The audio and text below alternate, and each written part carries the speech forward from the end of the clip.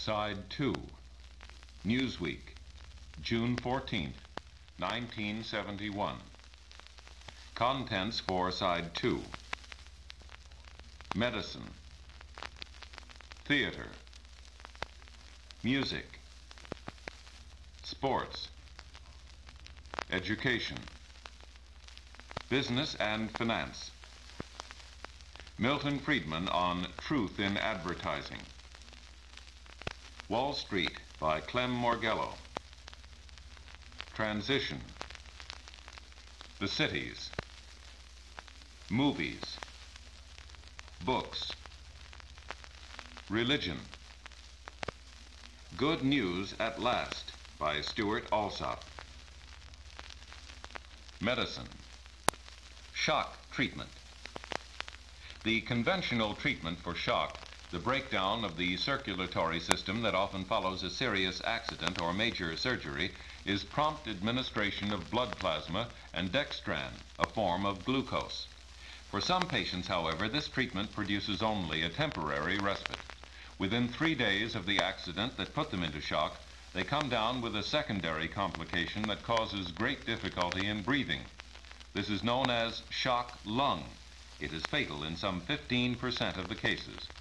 Now, however, a pathologist at the Duke University Medical Center has discovered that shock lung can be prevented with massive doses of a drug hitherto used chiefly to treat such minor conditions as poison ivy.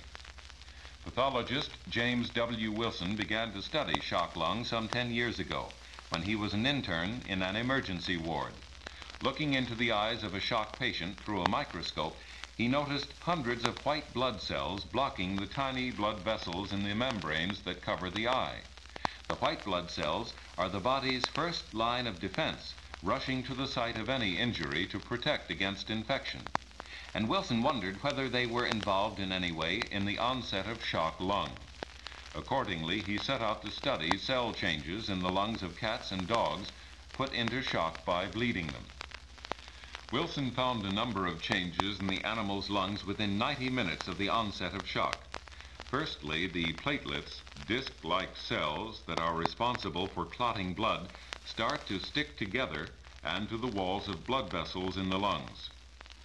Once stuck, they release serotonin, a substance that constricts the blood vessels and thus exacerbates the blockage.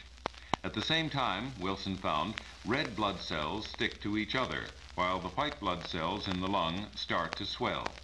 With their blood vessels blocked, the lungs can no longer exchange gases between the blood and the air. A further complication Wilson discovered involves the white cells. Once stuck in the blood vessels, they release the enzymes that normally fight infection. With no infection present, the enzymes attack healthy lung tissue. It is this attack that causes death from shock lung. The obvious method of forestalling these events, Wilson reasoned, would be to apply an anti-inflammatory agent. Finally, he hit upon one that seemed to fill the bill. This was methylprednisolone sodium succinate, MSS, a steroid normally used to treat poison ivy. Because MSS is metabolized very quickly, Wilson applied it intravenously and used about 17 times the dose used for poison ivy. It's a whopping big dose, he commented last week, but there's no way it can hurt a patient. Halt. The animal experiments showed that MSS acts in three ways to relieve shock lung. It lets cells survive with less oxygen than normal. It halts the release from the white blood cells of the enzymes, and it stimulates production of a substance known as a surfactant, which keeps the tiny vessels in the lung open. If applied within 90 minutes of the onset of shock, Wilson found, MSS significantly improved the animal's chances of living. After this success with animals, Wilson set up a controlled study of more than 100 human patients who had been on a heart-lung machine during surgery. Of the patients treated with MSS as soon as they were taken off the machine, Wilson reported at a shock symposium in Augusta, Michigan last week, most displayed far more normal lung tissue than did those not given the drug. If further trials bear out its promise, Wilson suggests that the steroid could become a standard treatment for shock patients, even before blood pressure is taken. Who can be hypnotized? Though hypnosis is still looked upon by many laymen as an occult and suspect art, the technique is finding ever broader acceptance in the medical profession. At present, some 8,000 doctors, dentists, and psychologists in the U.S. use hypnotism more or less regularly in their practice, chiefly to relieve the pains of childbirth and dentistry. There are also thousands of Americans who have undergone hypnosis in the effort to give up smoking, some successfully, some not. Now, research teams are studying why some people are more susceptible to hypnosis than others, and a husband and wife team at Stanford University has produced a statistical profile of the person who succumbs readily to the hypnotist's art. The researchers, Doctors Ernest and Josephine Hilgard, started their study some 10 years ago, basing some of their initial work on the fact that in general, about a quarter of the population seems highly susceptible to hypnosis, and that about one person in 10 is completely resistant. As their first task, they devised a method of measuring a subject's hypnotizability, now known as the Stanford Hypnotic Susceptibility Scales.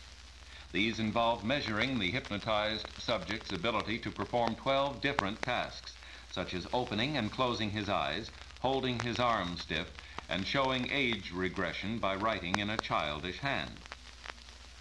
Scold. From observing several hundred subjects, it gradually became apparent to Josephine Hilgard that the most easily hypnotizable had similar backgrounds. Statistical study confirmed the impression. As children, she found, these subjects tended frequently to use their imagination to detach themselves from reality.